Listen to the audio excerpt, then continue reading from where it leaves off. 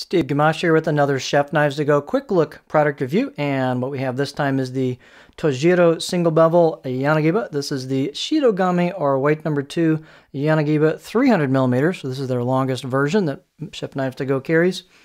The core steel is a reactive high carbon steel from Hitachi known as Shirogami or white paper number two. Heat treat, it's not specified, but it should be right around 61-ish, maybe 62 Rockwell. Uh, this is a two layer construction uh, with this traditional single bevel design. So on the right side of the blade as you're holding it, they've got a soft iron reactive cladding over the top of that Shirogami or uh, number two reactive carbon steel, the, the hardcore steel. And on the left side of the blade, they do carry the cladding over the top of the spine, and then a little bit on the left side of the blade, and the rest of it is just that uh, core steel showing through.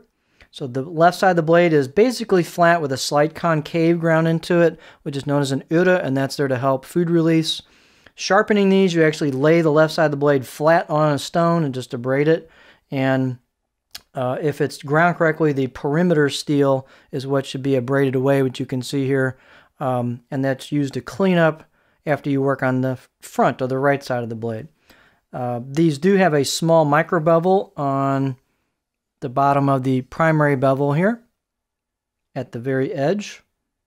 And um, we'll take a close-up look at it. But anyway, this one's nice and long, isn't it? 300 millimeters. So the uh, we already did that. Of course, the weight is about 60, uh, 6.4 ounces, 182 grams, and they'll vary a little bit from knife to knife, but that's what this one is. The edge length on this one's about 290 millimeter, about 11.4 inches, and the overall length about 17 and a half inches. The spine thickness is about 3.4 millimeters and then holds pretty much that, maybe slightly less than that, but pretty much all the way through the blade. And then as you get to the grind, you'll see it thin out in that more chisel traditional style, as well as on the heel, you can really see the chisel grind coming through there. The, um, let's see, the handle let's see. Oh, we need the blade height. Sorry, I'm getting lost here. The blade height is about 35.6 on this one, millimeter at the heel. The handle is just a basic no frills D-shaped uh, right hand oriented handle because this is a right hander knife, not a lefty knife. The uh, basic ho wood with a plastic or resin ferrule. The ferrule has kind of a rubbery feel to it instead of the hard plastic feel. You might get one with a hard plastic feel, but that's what these are. Um, the circumference is about 73 millimeters at the front of the wood where it meets the ferrule. And a little bit of a gap there or step uh, is pretty common for this style. It's just a basic handle. You've got a little bit of the tang showing. That's known as the maki or machi. Um, the purpose of that is not to make it look sloppy, but uh, over time, if the handle gets a little loose, you basically can whack it on, and you've got a little bit of room there to sink the, the tang deeper in the handle and tighten it up. So that's a traditional type install. It's meant to look that way. It's actually, I think it's pretty cool, so nothing wrong with that. Old school.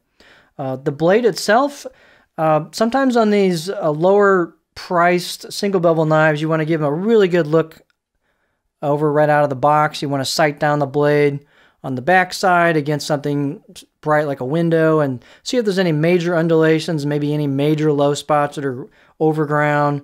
Check out the blade road, see if you got any of the same issues. Um, if you have some major issues with it or the blade's not very straight, you may want to try to get an exchange. Chef Knives to Go is great about that. On the lower price ones, that's some of the times the chances you take on getting one maybe with less than optimal grind. So just give these a really good look out of the box because Mark wants Chef Knives to Go people, they want you to have the best knife that they can give you for a particular model. So anyway, just give those a really good look. And if you got you think you have any major issues, talk to Mark, see see what you might want to do, or maybe take some pictures or see if it's even an issue. So anyway, uh, these uh, all three of these Yanagibas have been pretty straight out of the box, and for 300, that's pretty. The longer they are, the harder they are to make sure they're really straight. But they've been pretty straight. The um, look of the blade, you can see they've got a sandblasted kind of Kasumi finish on it. You can see the core steel at the edge.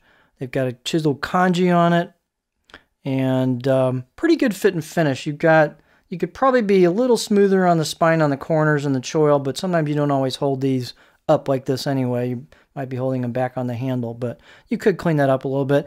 Out of the box edge, this one was pretty good. About a 6 out of 10. It was sharp over the entire length, but of course you can sharpen these and get them much sharper. That's the whole point of this kind of uh, acute angle that you end up at the very edge is to get them very, very sharp. Um, let's see, cutting board. If you happen to do some work on the cutting board or just if you just want to see what it looks like, obviously this is a really long blade, but so here's the profile. Obviously this is really more of a slicer than anything else where you're coming in and making continuous slices, but if you need to do a little bit of work on the board, you can do that.